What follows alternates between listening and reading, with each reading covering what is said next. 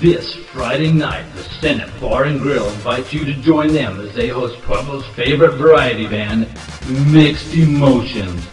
Come on down for great food and drinks and dance to the best Top 40 cover band around. The party starts at 9 p.m. with no cover.